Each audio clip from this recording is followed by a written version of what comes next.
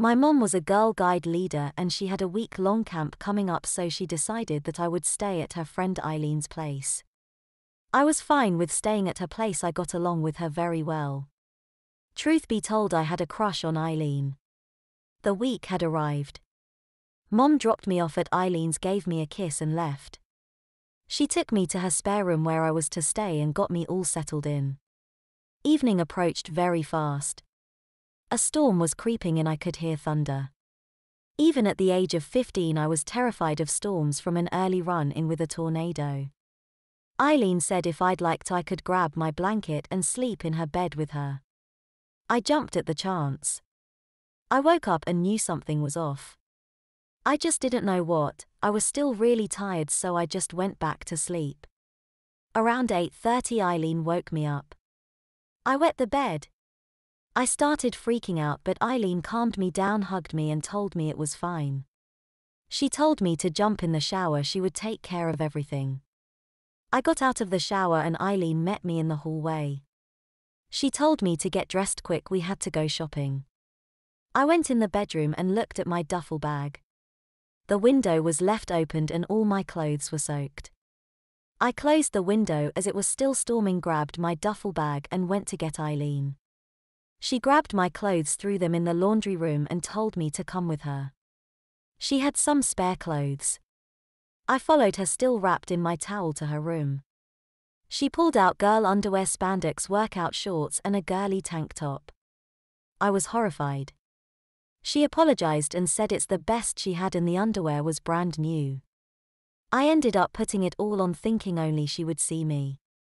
Apparently, I was very wrong because when I went downstairs, she had my clothes in the washer and told me to jump in the car. Being as how I had a crush on her, I listened. On our way, she kept giggling at me and joked with me. She said maybe we will buy you some heels and a bra. I was so embarrassed I just smiled and then sat there. Finally, we made it to the grocery store. Went picked up a bunch of food and random things she needed. It seemed like it took forever and I just wanted to leave. I didn't want anybody I knew to see me. Eileen finished up and we went to the car. I assumed we were going home. Again, I was wrong. She said she just needed to stop at Walmart and buy a couple things, but I could wait in the car. I did so gladly. We finally made it home, unloaded the car, and she put everything away except for the two Walmart bags. I didn't really pay attention. I went to go sit on the couch. Even though I couldn't watch the TV as the power had went out at some point. Eileen came in with the bags. Out of them she pulled two packs of adult diapers and some wipes. She said she didn't care if I had accidents but she would like me to have a diaper on. She was being really nice, but I really didn't want to wear a diaper. Then she said the magic words. If I wore the diaper, I could sleep in her bed. She was trying to be nice, but I just wanted to sleep in her bed with her. I quickly agreed. The rest of the day went on pretty normal. The power came back on, I got my clothes back.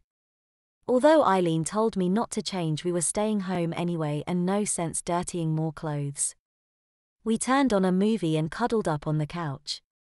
We both fell asleep, but when I had woken up, apparently I peed again. I freaked out. Eileen woke up and asked what was wrong. She clued in and asked if I fell asleep. Not thinking, I said no, I was awake. Then shut myself up again. She smiled, said it was okay, and told me to jump in the shower. When I got out of the shower, I went straight to Eileen's room where my stuff was. Eileen met me there and asked me to put on a diaper and that until we figured out what was happening, she would like me to wear them 24 7. I was shocked, no way was I going to wear a diaper specially all day. But she kept on asking. I finally caved. She asked me if I knew how to put them on. It was an actual diaper. Of course, I didn't know how. So she told me if I was okay with it, she would diaper me and change me. She made it clear only if I was okay with it and only until I gained control again. So hesitantly I agreed. Eileen got me to lie down on the diaper and told me she would do the rest. I did as I was asked but made sure no eye contact was made as I was embarrassed. She did up the tapes and told me just put on some comfy clothes as we were staying home and it was already four o'clock. So I put on a t shirt and sweatpants, then went downstairs. That evening, Eileen asked if I'd like to go for a walk with her. Not even thinking about the diaper and more on a romantic walk with her, I agreed. She asked if I needed a change before we went. I told her no, I was good as I was still dry. We headed out for our walk. I wasn't too worried about anyone seeing the diaper as my sweatpants would hide any bulges and it was pretty late so no one would be out really. Although it did crinkle a lot, which made Eileen smile. Halfway through our walk, I really had to pee, but there was nowhere to go. I was positive I could hold it. Besides, it's only when I was asleep I had accidents, or so I thought. Being as how we were in town, it's not like I could just pee anywhere, but we weren't close to any stores or restaurants. Then Eileen decided that we should go to Tim Hortons for a coffee. I thought I could make it there. I kind of picked up the pace as the urge got stronger. We finally turned the corner and there it was, I could see it. I was going to make it. Then all of a sudden I let go and flooded my diaper, it swelled up so much it made me walk funny. Instantly Eileen knew what happened but told me it was okay tats what they were for. She tried to tell me my waddle wasn't noticeable even though it was. I was really embarrassed now and all I wanted to do was hide. But Eileen told me we were still going to Tim's. I just agreed and walked as normal as I could there. Once we got there, I told her I was going to the bathroom to take it off, but she insisted I kept it on just in case.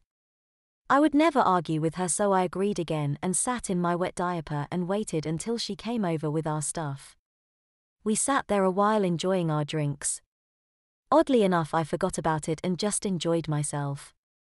We finished up and went back home where Eileen finally changed me. So I had a fresh diaper for bed. The rest of the week went the week went by and I was still wetting uncontrollably throughout the day and night. Eventually I didn't care if anyone saw my diaper or saw that I was walking funny. When my mom got home we explained what was happening and she took me to the doctors. Apparently there was something wrong with my bladder. It took me two weeks after to get control again. Some days I really miss wearing diapers though.